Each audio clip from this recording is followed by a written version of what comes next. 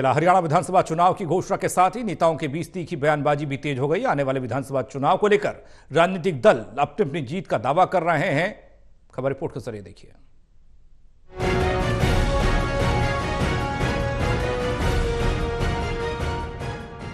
हरियाणा विधानसभा चुनाव की घोषणा के साथ ही नेताओं के बीच तीखी बयानबाजी भी तेज हुई है। आने वाले विधानसभा चुनाव को लेकर राजनीतिक दल अपनी अपनी जीत के बढ़ चढ़ कर दावे करते नज़र आ रहे हैं। हरियाणा के वित्त मंत्री जेपी दलाल का दावा है कि हरियाणा में कांग्रेस की सरकार बनने की दूर दूर तक संभावना नहीं। उनका ये भी दावा है की अगर किसी परिस्थिति में हरियाणा में कांग्रेस की सरकार बन गई तो छह महीने तक टिक नहीं पाएगी। कांग्रेस आवागे अरे खसमा इतना रोड़ा कर रखा था, जी ब्याह दिया दिए चालीस बयालीस है। अरे मैं तो तू भूडे थे भूडी जाए ऐसी भगवान रूस गया जाके मैं उकचुक हो जा।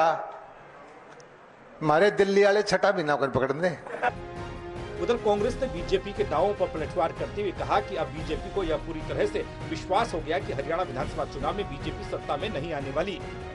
अब तो चुनाव का डंका बच चुका है। अब जो भी है पार्टी फैसला करेगी।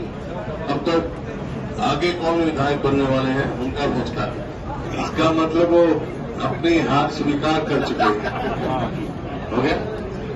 उन्होंने सरकार तो मानी ली। अब कहने का मतलब साफ़ है कि जैसे जैसे हरियाणा में विधानसभा चुनाव का रंग चढ़ेगा, लोगों को भी नेताओं के बयानों के हर रोज नए नए रंग देखने को मिलेंगे।